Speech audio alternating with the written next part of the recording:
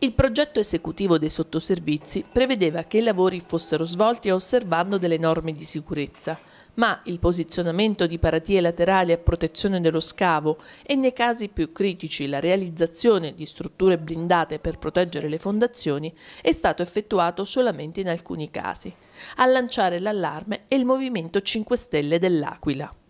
Noi però poniamo la questione del se questa modalità di, di, di esecuzione dei lavori sia o meno compatibile con l'obiettivo di, di, realizzare un centro storico sicuro, eh, sicuro per la, per, la, per la, vita civile, per i negozi, per le, per le case, un centro storico che sia attrattivo per la gente. Che cosa farete ora?